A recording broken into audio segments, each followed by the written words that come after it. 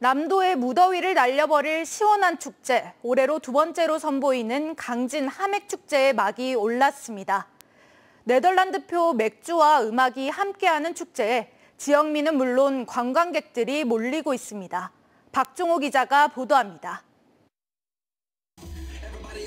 DJ의 리드에 맞춰 더위도 있고 신나게 음악을 즐기는 시민들.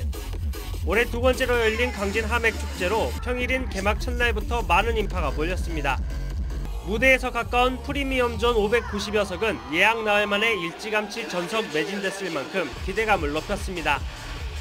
이렇게 강진에서 규모가 크게 축제가 열릴 줄 몰랐는데 재밌게 잘 놀다 가겠습니다. 행사장 주변에는 목재 체험과 플리마켓, 어린이 물놀이 시설까지 마련돼 가족 단위 관광객도 즐길 수 있도록 했습니다.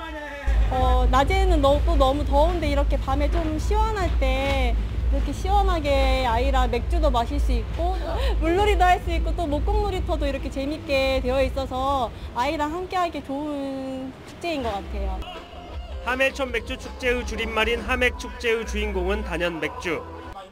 하멜 표류기 핸드릭 하멜의 고향 네덜란드에서 가져온 맥아로 강진군이 개발한 수제 맥주를 만 원만 내면 무제한으로 마실 수 있습니다.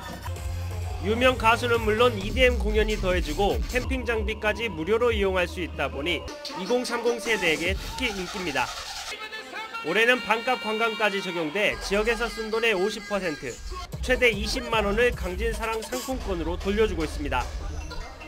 호르꿈 씨가 그 자체가 어, 맥주로 유명하기 때문에 강진에서 맥주를 만들어 가지고 상품화하고 있는데요.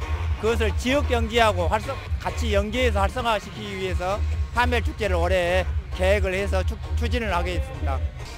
첫날에만 지난해 4만 명의 절반 수준인 19,000여 명이 찾는 등 높은 관심을 모인 제2회 하맥 축제.